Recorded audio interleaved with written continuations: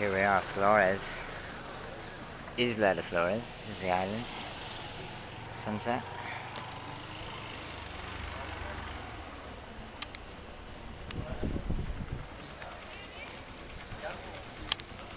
A few bars and hotels, restaurants here.